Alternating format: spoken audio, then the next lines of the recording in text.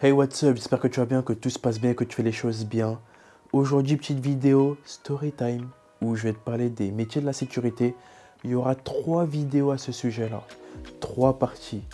Première partie où je vais te parler du métier en lui-même, de la formation, comment c'est passé, comment ça se passe et tout, et, euh, et de, de ce qu'on pense de la sécurité parce que la sécurité, c'est un beau métier qui peut très bien payer. Il y a des vraies missions, il y a des vrais trucs. Et c'est pas que le métier du, vigile en magasin, d'accord? C'est pour te parler de ça, parce que j'ai bossé dedans et euh, il y, a des choses intéressantes à savoir. Et pour les jeunes, peut-être qui veulent se lancer et tout, qui savent pas trop quoi faire ou qui veulent gagner des sous, ça peut être intéressant. Deuxième partie et troisième partie sera sur des postes que j'ai eus d'accord? Euh, Et c'était marrant, ok? Donc, première vidéo, tranquillement, le métier d'agent de sécu.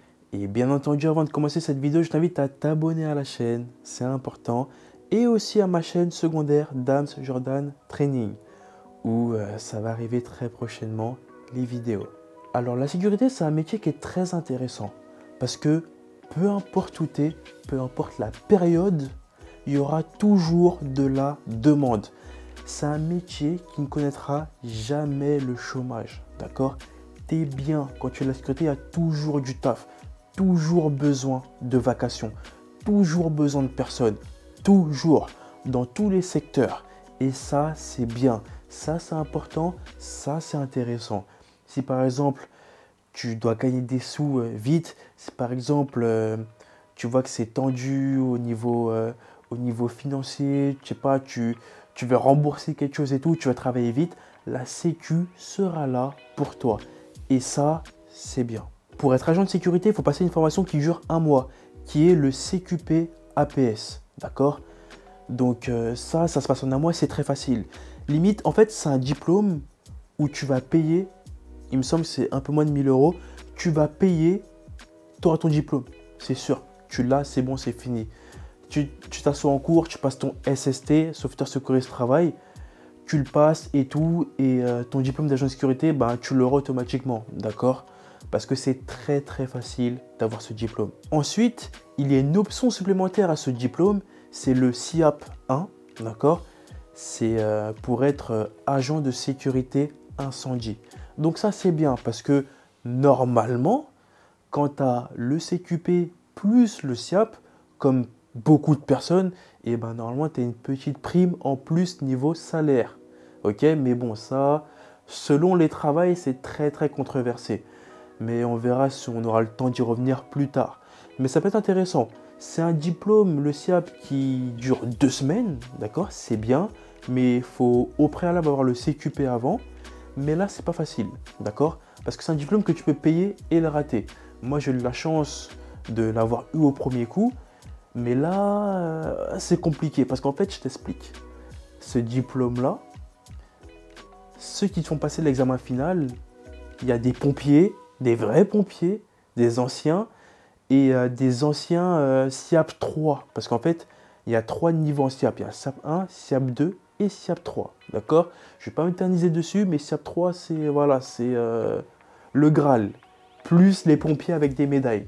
Et eux, ils te font un petit examen pour décider si tu es digne d'avoir le SIAP ou pas. C'est pour ça que beaucoup de personnes euh, échouent euh, la première fois, tu vois. Moi, j'ai eu de la chance, j'ai réussi. Maintenant, je vais te parler des choses que tu sais peut-être pas sur la sécurité. D'accord? Parce que quand, par exemple, je te dis, je suis agent de sécurité ou j'ai fait de la sécurité, peut-être que toi, tu te dis, ah, il a travaillé à Lidl, il a travaillé à Carrefour. C'était le, vigile de nanana. Ou alors c'était le videur de boîte de nuit de je sais pas quoi. Oui et non. D'accord? Parce qu'en fait, en sécurité, quand tu baignes dedans, t'apprends qu'il y a plusieurs métiers, plusieurs possibilités et même des lieux où tu es bien, voire très très bien. Que ce soit au niveau confort au travail, mais aussi financièrement. Et ça, il faut en parler, il faut lui dire. C'est important. Faut pas. en fait, il faut dire les bonnes choses, d'accord? Moi, je suis là pour ça. En sécurité, il faut savoir un truc et c'est dommage et ça me fait chier de dire ça. clairement, mais il faut que tu sois au courant de la réalité des choses. En France, il y a des postes en sécurité qui sont faits à la tête du candidat. Clairement. Après, c'est un peu partout, j'ai envie de te dire.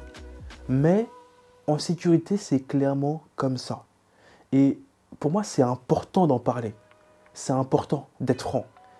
Si tu as un accent prononcé qui, où tu sens que tu viens pas d'ici, ou tu n'es pas né ici, eh ben, tu n'auras pas un bon poste en sécurité.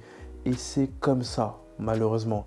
Si tu parles avec un français propre, clair, net, précis, concis, tu auras un bon poste. Ou tu auras un poste agréable, où tu seras bien payé, où tu seras tranquille et tu vas t'amuser. Et pour te donner un exemple, si je peux te parler des deux meilleurs postes qu'on m'a proposés en sécurité, il y a le premier poste, c'est le poste de profiler. Et le deuxième poste, c'est le poste d'agent de sécurité dans une, euh, dans la plus grosse enseigne de vente en ligne, d'accord? Et euh, ça, je t'en parler dans, dans la troisième partie, d'accord? La troisième vidéo de sécu, je t'en parlais. Mais profiler, c'est un poste de fou, d'accord? Le poste de profiler qu'on m'a proposé, c'est un poste d'agent de sécurité en gare. Je suis dans une gare, une grande gare. Il y avait gare et aéroport. Ton rôle, il était simple. C'était de faire le, le client, faire le voyageur. Tu es là, tu marches, tu fais ce que tu as à faire. Tu, enfin, tu fais ce que tu as à faire. Tu fais euh, le, le mec qui va prendre une destination, qui se renseigne, qui prend un café, qui fait ce qu'il veut. D'accord? Mais tu dois repérer toutes les personnes qui sont bizarres, qui sont louches. Et s'il y a une agression, s'il y a un truc, tu dois être là mais tu dois être à la fois visible, enfin invisible auprès des, euh, auprès euh, des, des, malfaiteurs, visible auprès du poste de sécurité et réactif. C'était bien, c'était intéressant et le plus important, c'est que euh, moi, le recruteur m'avait dit, tu vois, tu auras une carte bancaire spéciale où il y aura 100 euros par jour dessus et tu te prends ce que tu veux, à manger, à boire, un café, tu marches avec un café, tu manges dans le McDo euh, de la gare, t'es bien, mais t'es attentif à tout ce qui se passe. Je me suis dit, waouh, mais c'est quoi ce poste de fou? C'est un poste incroyable. Et en plus de ça, la paye, elle était. C'est trop C'est trop C'était une paye à 1900 euros net, sans prime. Ça veut dire que c'était incroyable. C'était vraiment incroyable. Quand j'ai vu ça, j'ai fait waouh. Après, il m'a dit ah, il me reste une place. Après, j'ai attendu un peu, je l'appelais, il répondait pas. Mais euh, je sais pas si la boîte a gardé ce poste-là. Parce qu'en fait, les boîtes de sécurité, si tu veux, ils ont des postes. Parfois, ils sont virés des postes par d'autres boîtes de sécurité, mais c'est très bancal. Mais ça, j'en reparlerai ça. Donc voilà, c'est un poste qu'on m'a proposé qui était vraiment incroyable. Il y a aussi un autre poste que je peux te donner un exemple que j'ai jamais fait, que j'ai jamais vu aussi, mais j'ai un ami qui est dedans, c'est dans le nucléaire. D'accord? Ça veut dire que tu es dans une usine nucléaire, tu es tranquille, tu surveilles et tout, mais tu es bien payé. Tu es vraiment bien payé. Parce qu'en fait, là-bas, tu fais rien. Tu es là juste pour euh, assister les employés. Parce que concrètement, si quelqu'un arrive à s'incruster dans une usine nucléaire, c'est qu'il est vraiment fort. Parce que déjà, il y a, la police devant et tu as la sécurité interne. Donc si tu arrives à passer la police devant, c'est que vraiment, euh, tu es super fort. Et la sécurité interne ne pourra rien faire. Parce que si tu passes la police, c'est pas les gens de sécu qui vont faire quelque chose. Malheureusement. Là, le nucléaire, tu fais rien et tu es extrêmement bien payé. Vraiment, vraiment bien payé. Tu as, une paye de cadre, concrètement tu n'es pas considéré comme un cadre, mais tu as une paye de cadre, voire au-dessus avec les primes. Parce que tu as des primes de risque, et les primes de risque, bah, ils sont simples.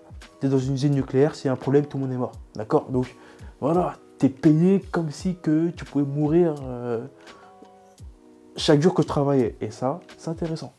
Mais pour rentrer dedans, c'est très sélectif. c'est très, très sélectif. Ça veut dire qu'il faut avoir la tête qui va avec le poste, concrètement. Je peux, je, peux pas décrire, je peux pas dire les choses, mais il faut avoir la tête pour le poste. Malheureusement, c'est-à-dire qu'un mec comme moi ne pourra jamais aller là-bas. À part s'il y a un bon relationnel, un bon contact avec le chef de poste. Mais malheureusement, une personne comme moi ne pourra pas bosser dans le nucléaire. La sécurité, c'est aussi un secteur où tu évolues très très vite. D'ailleurs, je suis désolé, je fais plusieurs apartés, mais c'est une vidéo dont travailler. C'est une vidéo où on parle entre potes, tu vois, on ensemble, ok? En sécurité, tu évolues très très vite. Ça veut dire que si ben, tu t'entends bien avec tes chefs, tes supérieurs, et eh ben, tu peux évoluer, tu peux monter en grade. Et ça, c'est intéressant, d'accord? C'est intéressant financièrement. Et si tu veux euh, évoluer, si tu aimes ce que tu fais, et eh ben, il faut prendre, d'accord? Mais encore une fois, il faut parler bien français, sans accent, être euh, présentable, avoir la tête qu'il faut, et tout va bien se passer. Là, je suppose que tu peux te poser la question, pourquoi Dams t'a fait de la sécurité? Pourquoi toi, un mec comme toi, a fait de la sécurité? Pour la simple et bonne raison que j'avais besoin d'argent. D'accord? On va, parler français, toi et moi. J'avais besoin d'argent pour m'acheter euh, une caméra plus importante. Parce que j'avais ma, première caméra, où j'ai commencé YouTube avec. Et je me suis dit, bon, voilà, j'aimerais une caméra beaucoup plus intéressante qui, font, euh, qui, fait un peu plus pro et tout. Comme ça, je serais bien, je serais tranquille et je pourrais avancer dans mes objectifs.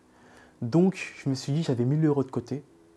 Je me suis dit, ces 1000 euros-là, au lieu de les mettre de côté, je vais les investir dans une formation d'agent de sécurité qui va me permettre de travailler et gagner de l'argent facilement. D'accord? Et rapidement aussi.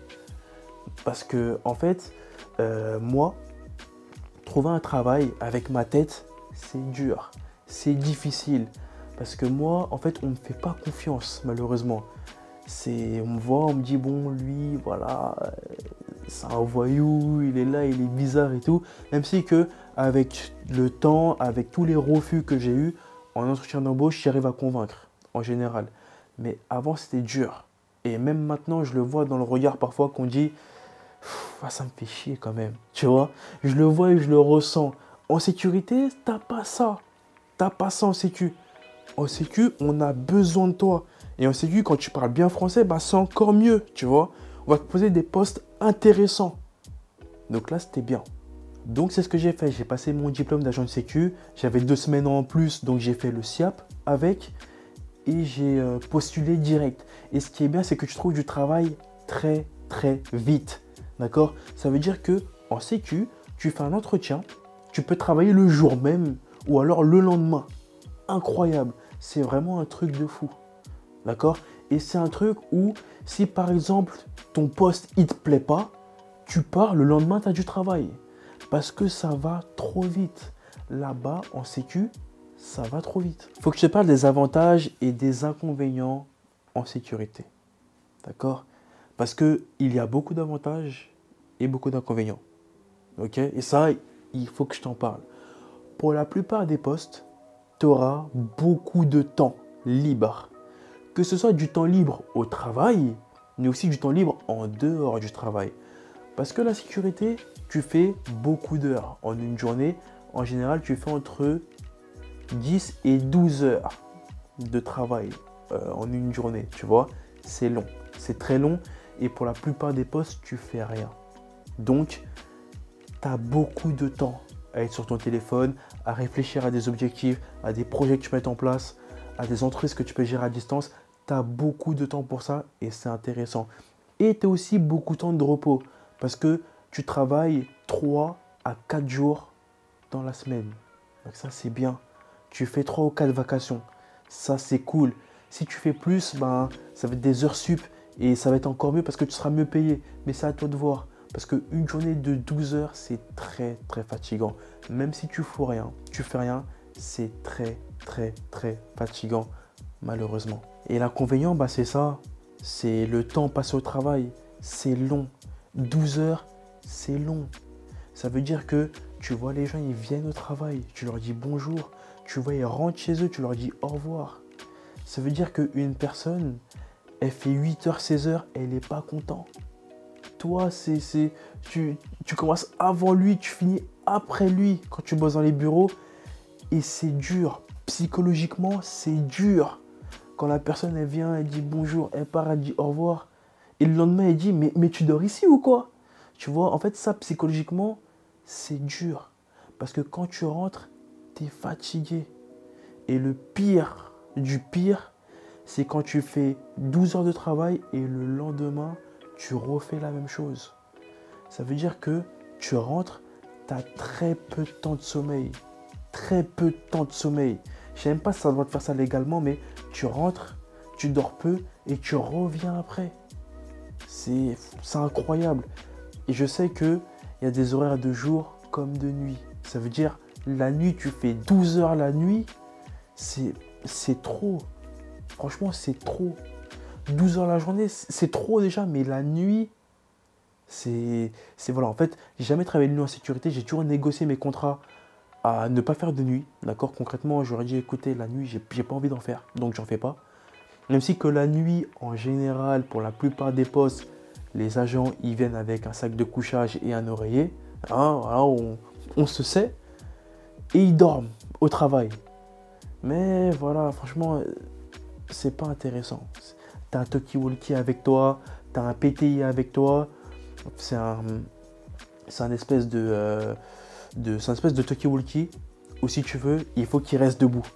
Parce que s'il se couche, il va sonner et envoyer une alarme pour qu'on vienne te chercher parce que tu peux être agressé. Tu vois, en fait, c'est un outil qui permet de te sauver, mais qui permet de, faire ta mission tranquillement, ok Pour qu'on puisse te contacter et tout. T'as un Toki, il est écrit dans tes oreilles tout le temps, t'as un téléphone, t'as as plein de choses et c'est chiant. C'est embêtant. Mais voilà, en vrai, la sécurité, c'est vraiment un métier important et un métier intéressant. D'accord Parce que comme je t'ai dit, il y a du taf partout et pour tout le monde. Ça, c'est intéressant. C'est vraiment intéressant.